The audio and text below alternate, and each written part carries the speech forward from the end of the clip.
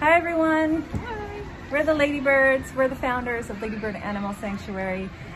And uh, we have a virtual fundraiser coming up really soon. It's free. It's on Giving Tuesday, November 30th. Um, please join us from the comfort of your own home uh, at 7.30 p.m.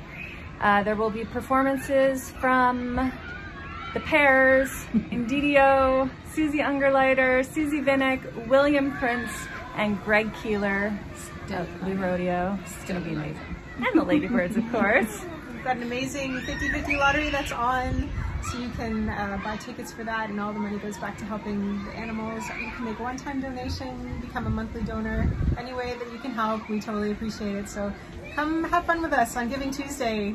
Looking forward to seeing you guys there. See you there. Bye.